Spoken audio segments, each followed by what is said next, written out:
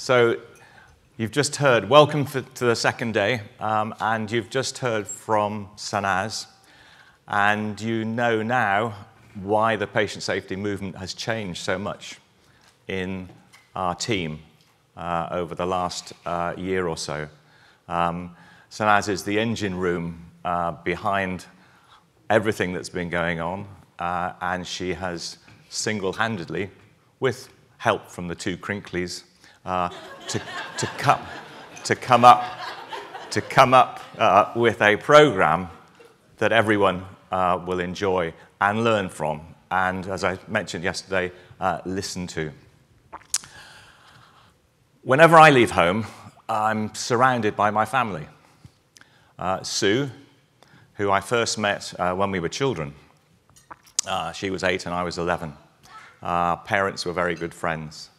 We then grew up, we went to different colleges, got married, and were lucky to have traveled all over uh, the world. Uh, we worked in the UK and the US, and indeed, when we arrived here in Connecticut um, with Luke and Jack, we left with another two, in Jamie and Ellen. It must have been the Yale water uh, at the time. Jamie now lives in Charleston uh, with Hannah and Freddie, and, and Ellen or Nell, uh, as the boys call her, uh, is about to get married uh, on July 1st in Portugal. Uh, so you can probably say I'm practicing my speech now. Ah. so Ellen is marrying Rishab, or Rish, uh, to Ellen and his friends. Uh, not our new UK Prime Minister, but an equally brilliant and lovely young man. he was born in Essex and became a professional sportsman, cricketer, uh, before going to the badlands of finance. Sorry, apologies to the finance uh, teams here. Um, his mother was from Gujarat in India, uh, and his father from Kenya.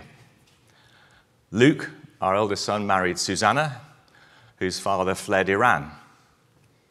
And Jamie uh, married Hannah, a wonderful woman from Annapolis, whose parents were from Iowa and DC, and whose grandparents were from Sweden and Italy. So we're a global family. The Durkins are a global family. And we need our movement here today for patient safety to be a global family. Wherever we've come from, we've raised the flag and awareness that we need to reduce deaths and harm to, in, from avoidable errors in healthcare everywhere we go. But we've consistently failed to make a significant headway and reducing the, into reducing those deaths and harms. Why? We heard yesterday of so many uh, brave and in individuals who are trying to change. Why? Because we haven't worked together across the globe. We've been sliced, siloed in our systems as well as in our campaigns. We've been precious in trying to promote one model, usually our personal or organizational model or solution, rather than working together to change the response. We have IHI, ISQua, the Joint Commission, Joint Commission International, WHO, as well as ourselves at the Patient Safety Movement Foundation, trying to ensure a collective movement to reduce harm.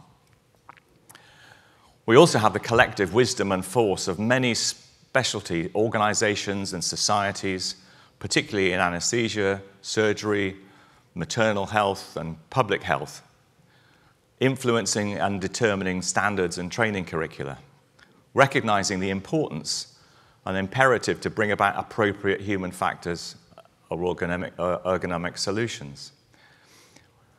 We have a multidimensional problem, and as Liam said, reminded us yesterday, in a complex adaptive system of healthcare.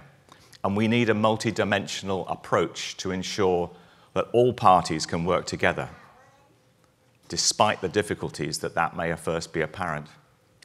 In particular, and those of you who listened last night to the Bleed Out film, in particular, we need the healthcare professions, the legal profession, and our lawmakers to see a common goal of reducing harm and deaths is in everyone's interest and not just as a financial opportunity.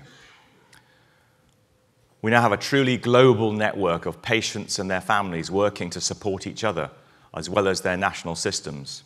And many of their leaders are here, yes, were here yesterday and are here today. And you heard a fantastic panel discussion yesterday afternoon. But I agree with Sue, as we need to be much more proactive in providing our patients their advocacy and activism with the skills and solutions to bring about change and improvement in their own domains. A core goal for us all is to bring about a psychologically safe space to work together, to be truly candid and transparent when we seek an answer to what and why something went wrong. Those drawbridges need to be lifted back up again. As taught by Avedis, and I mentioned yesterday Avedis Donabedian, the secret to bring about successful change is not just about the systems and processes, but it's the harnessing the power of the ethical values who work within the system.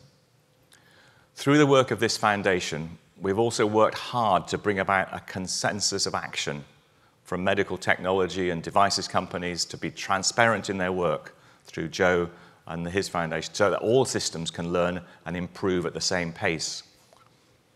The pandemic taught us to work in a different way, to use all modalities and technologies to bring about solutions to support our families and the public in every setting, and especially at home. Our role for patient safety now must move out of hospitals and across our whole dimensions of care. We need to embrace that technology and adopt good governance and cybersecurity methods. We also need to harness the power, as we heard yesterday, of generative AI and machine learning to be to the advantage of our patients and our decision making, but recognizing the difficulties that that will present. As I was talking to colleagues earlier today, what we, we get out, what we put in. The clue is in the name, generative. We have also recognized the need to harness not only expert knowledge to bring about evidence based solutions, but also financial and fiscal instruments to engineer change and improvement through the work of the World Bank, the OECD, and in recent years, the Academy of Medicine. Our summit has brought together the architects for change. We have here the leaders who have not accepted the status quo, but who have identified what needs to be done to improve the safety of our patients, and now more, and more so and also the safety and physical and mental health of our healthcare staff. We now have the global series of ministerial summits in patient safety, bringing together the political leaders who are responsible for implementing policy and effective policies in their respective countries. This year in Montreux saw the largest collaborative political leaders in healthcare signed the Montreux Charter. And we will hear more from that from Anthony Staines, who led the expert team for the summit later today. We now have the Global Patient Safety Action Plan brought together by Sir Liam and Dr. Neelam Dhingra, who you heard from yesterday, for the, uh, and adopted by the World Health Assembly, which lays out the framework for a decade of improvement. Our role now is to work as humanly possible to bring about an implementation plan at a local, at a system, and at a national level to put that into place. We need to make it a reliable and resilient plan with the patient, their family, and the caregiver at the center of every solution. We are here to serve our patients, and we need to do that appropriately. One that allows the healthcare provider also the space and permission to act in the best interests of their patients and their colleagues. So thank you for your efforts to come here today. Thank you also for your efforts to bring about change and improvement wherever you work. But most of all, uh, thank you for what you are about to do and for what you will achieve for your families, your patients, and your colleagues. So thank you very much for listening to me. I'll stop now and uh, welcome the rest of the day. Thank you.